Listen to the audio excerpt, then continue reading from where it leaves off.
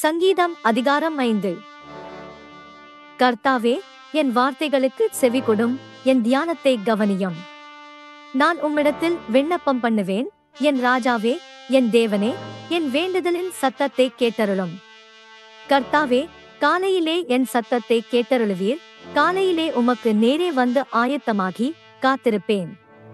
நீர் துன்மார்க்கத்தில் பிரியப்படுகிற தேவன் அல்ல தீமை உம்மிடத்தில் சேர்வதில்லை.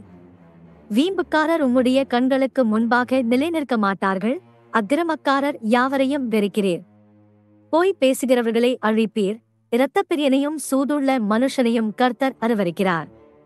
நானோ உமது மிகுந்த கிருபையினாலே உமது ஆலயத்துக்குள் பிரவேசித்து உமது பரிசுத்த சன்னதிக்கு நேரே பயபக்தியுடன் பணிந்து கொள்ளுவேன்.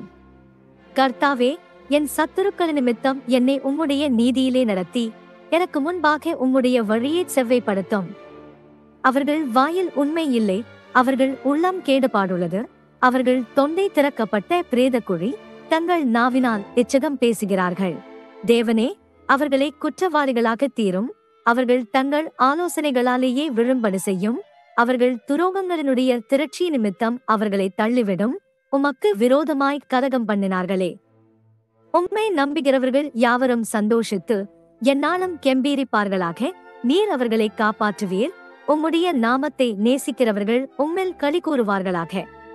கர்த்தாவே நீர் நீதிமானை ஆசீர்வதித்து காரணியம் என்னும் கேடகத்தினால் அவனைச் சூழ்ந்து கொள்வீர்